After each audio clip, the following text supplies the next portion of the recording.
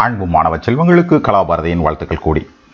இந்த higher order thinking அதில் உள்ள ஒரு ப்ராப்ளம் பார்க்க பார்க்க போகிறோம் அது பாருங்கள் உங்களுடைய கையில் உங்களுடைய ஒரு கையில் ஜீரோ டிகிரி வெப்பநிலையில் உள்ள பனிக்கட்டியும் மற்றொரு கையில் ஜீரோ டிகிரி உள்ள குளிர்ந்த நீரும் உள்ளது.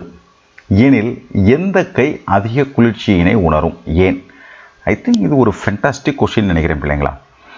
தமிழில் இங்கிலீஷில் பார்த்தீங்கன்னா if you keep ice at zero degree centigrade and water at zero degree centigrade in either of your hands in which hand you will feel more chillness why right இதுக்கு என்ன பிள்ளைகளுக்கு தெரியும்னு நினைக்க தெரியணும்னு கேட்டிங்கன்னா நம்ம ஹீட்டுடைய ப்ராப்பர்ட்டி படித்தோம் பிள்ளைங்களா? அதில் என்ன சொன்னோம் கேட்டிங்கன்னா நம்ம ஹீட் பண்ணால் டெம்பரேச்சர் கூடும். இது ஃபஸ்ட் ப்ராப்பர்ட்டியாக படித்தோம் செகண்ட் ப்ராப்பர்ட்டி என்ன படித்தோம்னா அது எக்ஸ்பேண்ட் ஆகும். ரைட் எக்ஸ்பென்ஷன் படித்தோம் மூணாவது அதுக்கு மேலே நீங்கள் ஹீட் பண்ணிங்கன்னா அவங்களோட ஃபேஸ் மாறும். அது சாலிட் லிக்விடாக மாறும். திடப்பொருள் திரவப்பொருளாக மாறும். திரவம் ஆவியாகும். ரைட் இந்த ஃபேஸ் மாறும். ஸோ மூணு விஷயங்கள் ஆக்சுவலாக நடக்குது. அப்போ என்னென்னு கேட்டிங்கன்னா இப்போ நீங்கள் கையில் சே நீங்கள் ஐஸ் கட்டி வச்சுருக்கீங்க தண்ணியை வச்சுருக்கீங்க. ரெண்டுமே ஒரே டெம்பரேச்சரில் தான் இருக்குது ரெண்டுமே ஜீரோ டிகிரியில் இருக்குது பிள்ளைகள் தெரியும்னு நினைக்கிறேன். டிரான்சிஷன் நடக்கும்போது ஒரே டெம்பரேச்சரில் தான் இருக்கும். ஐஸ்லேருந்து தனியாக மாறி மாறிக்கிட்டு இருக்கக்கூடிய அந்த மொத்த ப்ராசஸ்மே ஜீரோ டிகிரியில் தான் இருக்கும் டெம்பரேச்சர் ரைட் வாட்டர்லேருந்து வேப்பர் ஆகிற அப்பையும் ஒரே டெம்பரேச்சரில் தான் இருக்கும். It is hundred degree centigrade temperature மாறாது. ஸோ டிரான்சிஷன் அப்போ டெம்பரேச்சர் ரிமைன்ஸ் கான்ஸ்டன்ட் இதை மைண்டில் ஞாபகம் ஃபஸ்ட் பாயிண்ட் ஞாபகம் வச்சுக்கோங்க.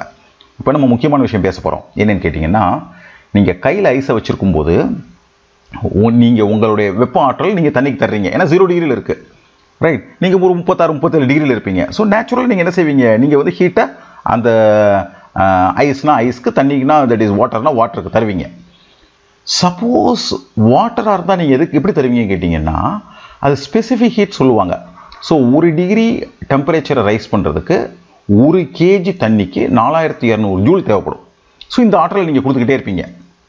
ரைட் அது எவ்வளோ கிலோ இருக்கோ எவ்வளோ கிலோ இருக்கோ எவ்வளோ டெம்பரேச்சர் கூடி இருக்கோ அவ்வளோ ஆற்றல் நீங்கள் கொடுத்துக்கிட்டு இருப்பீங்க.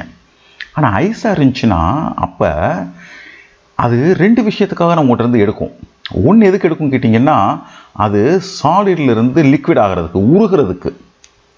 அதுக்கு பேர் லேட்டன் ஹீட் தமிழில் உள்ளுரை வெப்பம்னு சொல்கிறாங்க பிள்ளைங்களா லேட்டன் ஹீட் இந்த லேட்டன் ஹீட்டோட நோ என்ன அர்த்தம் கேட்டிங்கன்னா ஃபேஸ் சேஞ்சுக்கு மட்டும். அதாவது சாலிட்லேருந்து லிக்விடாக மாறினா லிக்விட்லேருந்து கேஸாக மாறினா அந்த சுச்சுவேஷனில் எவ்வளோ ஆற்றல் எடுக்கப்படுது? அதெல்லாம் பார்த்தீங்கன்னா ஜூல்ஸ் பர் கேஜி இருக்கும். இங்கே பார்த்தீங்கன்னா முந்நூற்றி முப்பத்தாறு ரெண்டு த்ரீ ஜூல்ஸ் பர் கேஜி ஐஸ்க்கு அப்படின்னா என்ன அர்த்தம் இல்லைங்களா ஒரு கிலோ ஐஸ் கம்ப்ளீட்டாக தண்ணியாக மாறணும்னா இவ்வளவு எனர்ஜி எடுத்துரும். பிள்ளைகள் புரியுதுங்களா? அப்போ என்ன அர்த்தம் கேட்டிங்கன்னா இப்போ இந்த சுச்சுவேஷனில் நீங்கள் ஒரு கையில் ஐஸ் ஒரு கையில் தண்ணி வச்சுருந்தீங்கன்னா தண்ணி டெம்பரேச்சர் இன்க்ரீஸ் பண்ணுறதுக்கு மட்டும்தான் உங்ககிட்ட உங்கள் கையிலேருந்து வெப்பத்தை எடுக்கும். ஆனால் ஐஸ் அது உருகிறதுக்கும் எடுக்கும். அதுக்கப்புறம் உருகினதுக்கப்புறம் டெம்பரேச்சரை இன்க்ரீஸ் பண்ணுறதுக்கு எடுக்கும். ரெண்டுக்கு எடுக்கும். மீனிங் அதனுடைய ஹீட்டை இன்க்ரீஸ் பண்ணுறது பண்ணிக்கிறது பண்ணிக்கிறதுக்கு எடுக்குது.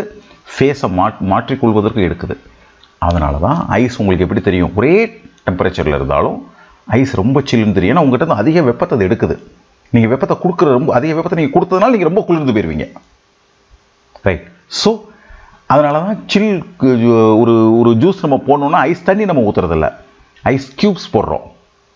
ட்ரை டு அண்டர்ஸ்டாண்ட் ரைட் எந்த இடத்துலையும் கூலண்ட்டாக வந்து ஐஸை பயன்படுத்துகிறாங்க ஏன்னா அதுதான் அதிக சில்லுன்னு ஆக்கும். இதான் பிள்ளைகளா இது பற்றின பதில். ஸோ நீங்கள் என்ன என்ன சொல்லுவீங்க? ஐஸ் வந்து அதிக ஐஸ் எந்த கையில் இருக்கோ அந்த கை அதிக குளிர்ச்சியை உணரும். ஜீரோ டிகிரி தண்ணி இருக்கக்கூடிய கை அவ்வளவு குளிர்ச்சியை அந்த அளவிற்கு குளிர்ச்சியை உணராது என்பதே இந்த கேள்விக்கான பதில் பிள்ளைகளா. சந்தேகம் இருந்ததுன்னா கமெண்ட் பாக்ஸில் தெரியப்படுத்துங்க. உங்கள் அனைவருக்கும் கலாபாரதியின் அன்பு வாழ்த்துக்கள்.